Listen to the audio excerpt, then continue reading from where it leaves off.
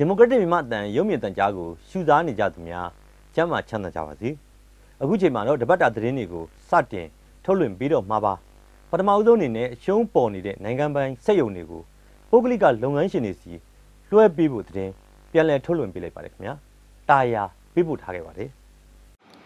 အသေးစားနဲ့အလက်စားစက်မှုလက်မှုအဆက်မီလုပ်ငန်းရှင်တွေကိုချင်းငွေရရှိဖို့နဲ့မြေနေရာတွေဖော်ဆောင်ပေးသွားနိုင်ဖို့နဲ့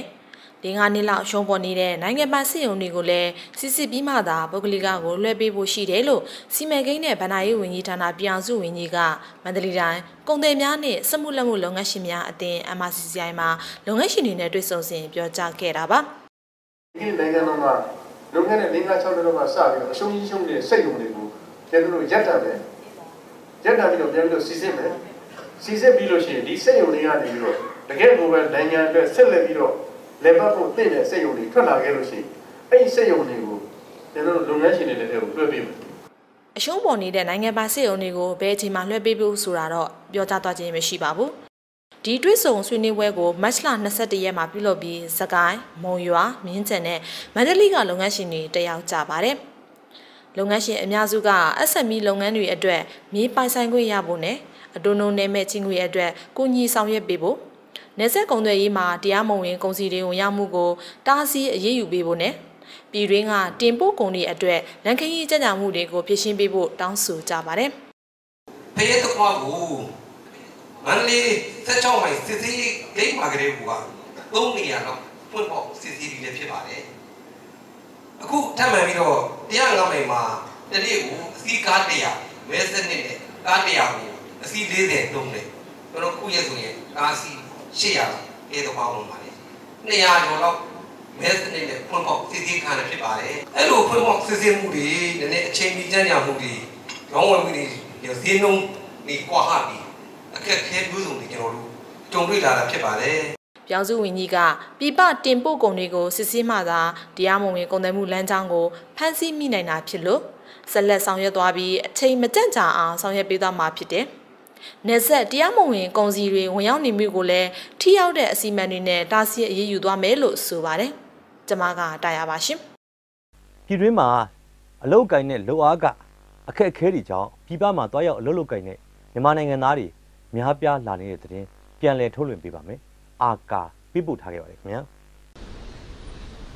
ဘွဲရပြည်သားတွေတော့အလုတ်အကင်အာမခံချက်မရှိတဲ့မြန်မာလူငယ်တွေအတွက်ပြည်ပနိုင်ငံတွေမှာတွားရောက်အလုတ်လုတ်ကင်မှုဟာမျှော်လင့်ချက်တစ်ခုဖြစ်လာပါတယ်။ မြန်မာနိုင်ငံမှာ2014လူဦးရေနဲ့အိမ်တကောင်စီရင်အရာအသက်15နှစ်ကနေအသက်64နှစ်အတွင်းအလုပ်လုပ်ကိုင်နိုင်တဲ့လူဦးရေဟာနိုင်ငံလူဦးရေရဲ့69ရာခိုင်နှုန်းရှိပြီးတော့ဒီထဲမှာ4ရာခိုင်နှုန်းဟာအလုပ်လက်မဲ့လို့ဖော်ပြထားပါတယ်မြန်မာနိုင်ငံသားတွေအများဆုံးတွားရောက်အလုပ်လုပ်ကိုင်တဲ့နိုင်ငံတွေထဲမှာတလလစာကျပ်10သိန်းလောက်အနည်းဆုံးရတဲ့ကိုရီးယားနိုင်ငံလည်းပါဝင်ပါတယ် ကိုရီးယားနိုင်ငံမှာအလုတ်သွားလုပ်ဖို့ရည်ချင်းစစ်ဆောင်မွဲတွေဖြည့်ဆို့ရမှာဖြစ်ပြီးဆောင်မွဲဖြည့်ဆို့ဖို့အတွက်ဝင်ခွင့်လျှောက်လွှာတွေကိုတောင်းနဲ့ချီတဲ့လူငယ်တွေကမက်လ20နှစ်ကစပြီးရန်ကုန်မြို့ဒဂုံမြို့တစ်မြောက်ပိုင်းမြို့နယ်ကအလုတ်သမားလေ့ကျင့်ရေးတင်တဲ့ကျောင်းမှာတိုးကျိတ်ဝယ်ယူနေကြတာကိုတွေ့ရပါတယ်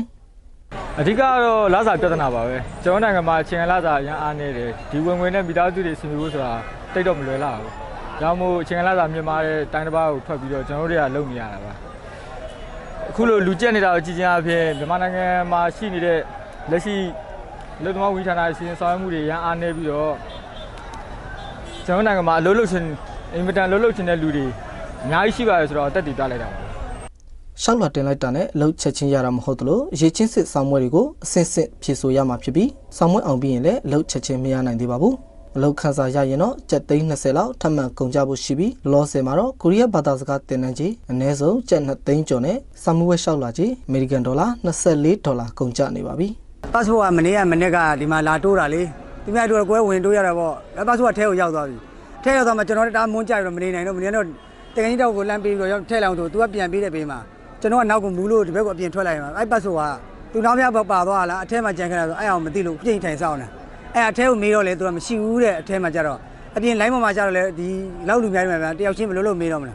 လိုင်းမှာဖေးဖို့မှာတင်ထားမှရှိမလားဆိုတော့ဖေးဖို့ချတော့လည်းမတွေ့ဘူးဒီထဲမှာမေးတော့လည်းမရှိဘူးတဲ့အဲ့ဒါဘယ်လိုလုပ်ရမလဲမသိဘူးဒါပေမဲ့နိုင်ငံသားအလုပ်သမားတွေကိုနိုင်ငံသားတွေနဲ့တပြေးညီသတ်မှတ်ပေးထားတဲ့တောင်ကိုရီးယားနိုင်ငံရဲ့လောက်ခလာစာဟာအနည်းဆုံးမြန်မာကျပ်ငွေတစ်လ10သိန်းလောက်ရနိုင်တာမို့မြန်မာအလုပ်သမားတွေအတွက်တော့အနာဂတ်မျှော်လင့်ချက်ပါပဲအင်းနီနာချင်းတချို့တွေတွားကြတယ်အဆင်ပြေကြတယ်ဗောဒီမှာလောက်တာလည်းအများကြီးအဆင်ပြေကြတယ် ပြည်စုံလေးမိသားစုစာဝန်နေပြည်စုံလာတယ်ပေါ့ဗျာအဲဒီဘာကြောင့်လဲကျွန်တော်ရုံးကန်လှုပ်ရှားတာကိုတည်ရတန်ပြင်ပန်းလာအဲဒါဒါလေးအဲ့ဒါအဓိကပေါ့နော်ကွန်ပျူတာသူပြည်လေခြင်းနဲ့ဆန္ဒတစ်ခုပေါ့အဲ့ဒါတစ်ခုပါဗျာတရားဝင်ငွေကမရဘူးဆို9000 8000ရှိတယ်တချို့လူကြောင့်လည်းတလိမ့်ညို့ဒီရတဲ့လူရှိတယ်လို့ပြောကြတယ်တရားရဲ့ဝင်ငွေမြန်မာနိုင်ငံကနေပြည်ပနိုင်ငံတွေကိုတွားရောက်အလုပ်လုပ်ကိုင်နေတဲ့အလုပ်သမားတန်းနဲ့ချီရှိပြီးထိုင်းမလေးရှားစင်ကာပူစတဲ့နိုင်ငံတွေကိုအများဆုံးတွားရောက်အလုပ်လုပ်ကိုင်နေကြတာဖြစ်ပါတယ်။ အားလုံးပေါင်းလိုက်မယ်ဆိုရင်တော့လူကြီး၄တန်းကျော်လောက်ရှိပြီးတွားရောက်သူတိုင်းအဆင်ပြေကြတာတော့မဟုတ်ပါဘူး။အဆင်ပြေတဲ့သူတွေရှိသလိုတချို့တွေအနေနဲ့အဆင်မပြေလို့ကိုယ့်မြန်မာနိုင်ငံကိုပြန်လာရတာတွေလည်းရှိပါတယ်။ဒါ့အပြင်ပြည်ပနိုင်ငံတွေမှာပဲဘဝပြတ်သွားတဲ့သူတွေလည်းရှိနေတော့မှာပဲ။ကျွန်တော်အာကာပါမြန်မာနိုင်ငံရဲ့တရားရေးမှန်တိုင်အားနည်းချက်တွေကြောင့်ပြစ်မှုမကျူးလွန်ပဲပြစ်ဒဏ်ကြခံရရသူတွေရှိနေတယ်လို့သိရပါတယ်။ခိုင်ပန်းမှုပေးပို့ထားခဲ့ပါတယ်ခင်ဗျာ။ လက်ရှိမြန်မာနိုင်ငံရဲ့တရားဥပဒေစိုးမိုးရေးမှန်နိုင်အားနည်းမှုတွေကြောင့်အကျင့်ပြတ်လက်စားမှုတွေငွေများငွေနိုင်စနစ်တွေများစွာရှိလာတယ်လို့နိုင်ငံရေးအတိုင်းဝိုင်းကဝေဖန်မှုတွေများစွာရှိလာပါတယ်။ဒီလိုတရားရေးမှန်နိုင်အားနည်းချက်တွေကိုပုံမှန်66ခါကြီးနဲ့တရားစွဲဆိုခံထားရပြီးအမှုရင်ဆိုင်နေရတဲ့ဦးမျိုးရန်အောင်သိန်းကသူ့မျိုးသမီးကနေတဆင့်သူ့အတွေ့အကြုံတွေကိုပြန်လည်ပြောပြခဲ့ပါတယ်။စိတ်အချင်းထောင်မှာဆိုရင်ထောင်မကြတဲ့နန်းနဲ့ရောက်လာတဲ့လူတွေရှိပါတယ်။တကယ်တည်းထံမဟုတ်ဘဲနဲ့ရောက်လာတဲ့လူတွေရှိပါတယ်။ ဥပမာဆိုရင်သူလက်သမားမိသားစုဆိုရင်လေသူတို့ရဲ့လေတော်ထဲမှာလက်နက်တွေ့တယ်။လက်နက်တွေ့တဲ့အခါမှာသူတို့ကဟိုတပုံဆိုပြီးတော့ဟိုလက်နက်ကိုင်ဆိုတဲ့ဟာမျိုးနဲ့ဆွဆွဲပြီးတော့ထောင်ကြတယ်။တချို့အမှုတွေဆိုတက်တက်တကြုံတေးရန်အထိချတယ်။ဒါပေမဲ့သူတို့ဟာလက်သမားမိသားစုတွေဖြစ်တဲ့အတွက်ကြောင့်မို့လို့ပညာရေးချိုးရေးချက်တွေရှိပါတယ်။သက်ဆိုင်တဲ့နိုင်ငံမိသားစုမဟုတ်ပါဘူး။စင်းရဲလာရှိပါတယ်။သူပြောပြပါတယ်။ပညာတတ်တဲ့တချို့သက်ဆိုင်ငွေကြီးတက်နိုင်တဲ့ သူအချို့ဟာအမှုဘယ်တော့ပဲဖြစ်နေဖြစ်စီအကြောင်းအမျိုးမျိုးနဲ့သူတို့အဆင်ပြေအောင်ဟိုလွတ်မြောက်အောင်သူတို့အဆင်ပြေအောင်လုပ်နေကြရတယ်အများကြီးရှိပါတယ်။တကယ်တကယ်ကိုကအပြစ်မှုတွေကျူးလွန်ပဲနဲ့စစ်တမ်းခံနေရတဲ့လူတွေထောင်ထဲမှာအများကြီးရှိနေပါတယ်။ဒီလိုလူမျိုးအတွက်ကိုတရားမျှတမှုလိုအပ်ပါတယ်။တရားဥပဒေစိုးမိုးမှုလိုအပ်ပါတယ်။ဒါအပြင်တရားရေးမှန်တိုင်းရင်းရိုင်မှုအပြင် ဥပဒေဝန်ထမ်းတွေဘက်ကလည်းတာဝန်ကြည်ပြမှုအားနည်းနေပြီးလက်ပေးလက်ယူမှုတွေကင်းစင်ဖို့လိုအပ်တယ်လို့လည်းတရားလွှတ်တော်ရှင်တွေတူကပြောပါတယ်တရားရုံးတွေရောက်ရင်ထိရောက်တဲ့ဟန်တာတဲ့ပြည်တံတွေမရဘူး။နောက်နိုင်ငံတော်ဘက်ကအကာအကွယ်ပေးရမယ်နိုင်ငံတော်ကိုတိဆောက်တဲ့နေမှာဥပဒေတိဆောက်တဲ့နေမှာအကာအကွယ်တဲ့ဥပဒေဝန်ထမ်းတွေကလည်းတာဝန်မကြည့်ဘူး။ပတ်စံရရင်ရသလိုတိဆောက်ပေးတယ်မရရင်မရသလိုတိဆောက်ပေးတယ်။အဲ့ဒီလိုလိုရင်းကနေအမှုတွေဟာထိုက်တန်တဲ့ပြည်တံတွေမရကြဘူး။အဲ့တော့အဲ့ဒီလိုဖြစ်တဲ့အတွက်ကြောင့်မလို့ဒီ မကြောက်ကြတော့ဘူးပေါ့တရားဥပဒေစိုးမိုးမှုမရှိကြတော့ဘူးအဲ့ဒါမလို့ဆရာတို့ကတရားဥပဒေစိုးမိုးအောင်တရားဥပဒေကြောက်ရွံ့လာအောင်ဟလာတရားဥပဒေကိုလေးစားလာအောင်ဆရာတို့ကလုပ်ရမယ်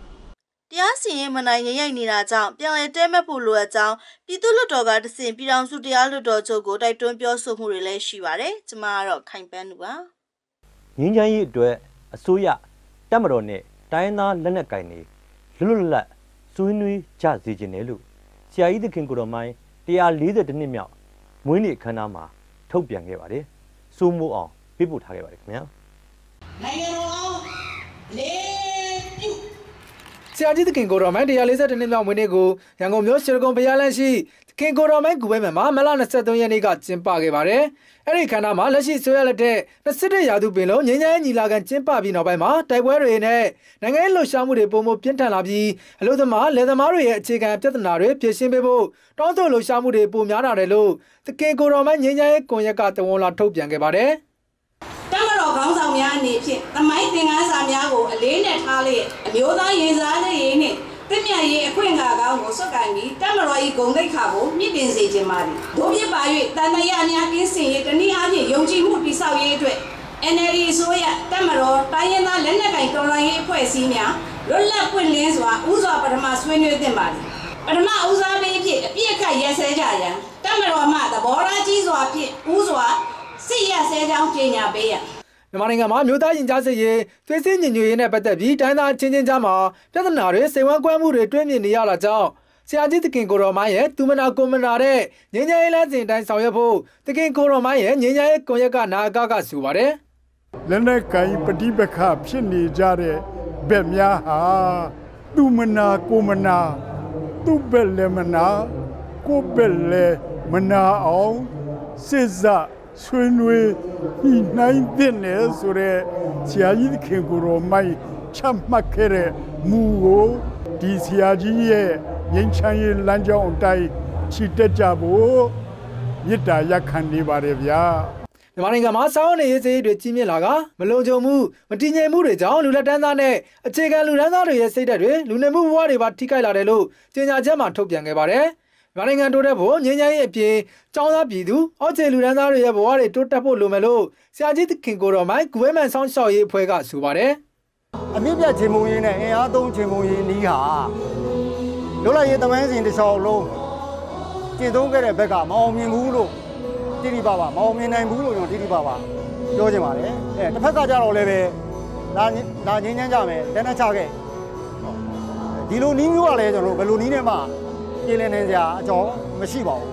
ဆရာကြီးသခင်ကိုတော်မိုင်းကို1886ခုနှစ်ကမွေးဖွားခဲ့ပြီး1964ခုနှစ်မှာကွယ်လွန်ခဲ့ပါတယ်။ဆရာကြီးဟာနှစ်ချက်အင်္ဂလိပ်လက်အောက်ကနေမြန်မာနိုင်ငံလွတ်လပ်ရေးရရှိဖို့ကြိုးစားခဲ့သူဖြစ်ပြီးဆရာကြီးသခင်ကိုတော်မရဲ့ထိမ့်မဲ့ပွဲတွေကို2013ခုနှစ်ကစပြီးခမ်းနားစွာကျင်းပခဲ့တာပါကျွန်တော်ကစူမှုအောင်ပါလူဆိုင်ချင်းရိုးရာနဘန်းပွဲကလေးမျိုးမှာအခုသတင်းပတ်အတွင်းကျင်းပခဲ့ပါတယ်ခွန်ဘတာ ပြပို့ထားခဲ့ပါတယ်ခင်ဗျာချင်းလူမျိုးစုတစ်ခုဖြစ်တဲ့လူရှိုင်းရိုးရနပန်းပွဲကိုမတ်လ21ရက်နေ့ကကလေးမျိုးနောက်ဘက်တဟန်ရကွဲအားကစားကွင်းမှာကျင်းပခဲ့ပါတယ်။အဲ့ဒီနပန်းပွဲတော်ကိုရိုးရကြကြကိုအထိမ်းအမှအဖြစ်ကျင်းပတာဖြစ်ပြီးလူငယ်တွေအကြားရင်းနှီးမှုတွေရရှိအောင်နေ့စဉ်နပန်းပွဲအစီအစဉ်ကိုထက်သွင်းကျင်းပတာဖြစ်ပါတယ်။တို့ဒီပွဲတော်တော့ဒါချစ်ကြည်ငင်းချိုင်းတဘောမျိုးပါပဲ။ ဒါတိတိုင်းကျင်းပနေကြ။ကျွန်တော်တို့ဘူးဘောပြီပြင်ကြရတာဒီဒီလိုပွဲတွေမျိုးမှာဆိုတာတယောက်တော့တယောက်ဟိုမကြည့်မကြည့်မတိမြတ်မှုတွေရှိရင်လည်းဒီနေ့မှာဆိုတော့ဒါတိတိမြတ်မြတ်နဲ့ပွဲတော်ကျင်းပကြတယ်လေအဲ့ဒီအထိန်မှန်တယ်ပဲကျွန်တော်တို့နှစ်တိုင်းကျင်းပပါတယ်လူငယ်တွေကဒီနှစ်တိုင်းနှစ်ပေါင်းပွဲကျင်းပတဲ့ခါကျတော့ပူပြီးတော့တပြည့်ပြည့်နဲ့စိတ်ဝင်စားလာကြတယ်နောက်ပြီးတော့ဒါမွေးစီဝါတို့အရက်တို့ဘာလို့မလဲဒါသူတို့ကသူတို့ထိန်းချုပ်ကြတယ်လေကြကြကုပွဲတော်ဆိုတာလူဆိုင်ရိုးရပွဲတော်တစ်ခုဖြစ်ပြီး မြန်မာအတိတ်ပဲရတောင်ရသီးနှံတွေကိုနေလန်းခြင်းလို့လည်းအတိတ်ပဲရပါတယ်လူရှိုင်းတို့ရဲ့တောင်ပေါ်ဒေသမှာတောင်ရသီးနှံတွေရိတ်သိမ်းပြီးလို့အားလာနေချိန်မှာအခုလိုရိုးရာပွဲတွေကိုကျင်းပကြတာဖြစ်ပါတယ်။ကန်တီဒန်စုလာရအက်ဆာလေဟိုရက်ွက်တဲမှာတင်နန်းပေးတာရှိတယ်။၁၀ရောက်လောက်သွားတင်ကြတယ်ပေါ့။ညနေပိုင်းမှာတင်နန်းတက်ပြီးတော့မနက်ပိုင်းမှာလေ့ကျင့်ခန်းလုပ်တယ်။ဒီပွဲမှာလည်းပထမရကျင်တယ်ဗျ။ဒီအားကစားကိုကျွန်တော်ကြိုက်လို့ဝင်ပြိုင်တာပါ။ ချင်းပြည်နယ်လူရှိုင်းရိုးရထိမ်းမနပန်းပွဲတော်ကိုနေ့စဉ်ကျင်းပခဲ့ရမှာ120ကီလိုဝိတ်တန်း120နဲ့140ကီလိုအကြား140ကီလိုထက်ဝိတ်တန်း၃မျိုးကိုခွဲခြားကျင်းပခဲ့ပါတယ်။အဲ့ဒီပွဲကိုမတ်လ23ရက်နေ့နောက်ဆုံးရှင်ပြိုင်မှာဖြစ်ပြီးပထမဒုတိယတတိယဆုအသီးသီးတွေနဲ့ပေးအပ်သွားမှာဖြစ်ပါတယ်။ကျွန်တော်ခွန်ပါတာပါ။ဟုတ်ကဲ့ပါခင်ဗျာ။ဒီမှာတွင်မဲ့တပတ်သတင်းနေဟုတ်ကဲ့ပါခင်ဗျာ။ ဒီမှာတွင်မဲ့တပတ်တွင်းသတင်းနေရန်နာလိုက်ရပါတယ်။ကျမ်းမာချမ်းသာကြပါစေကျွန်တော်မောင်တူပါ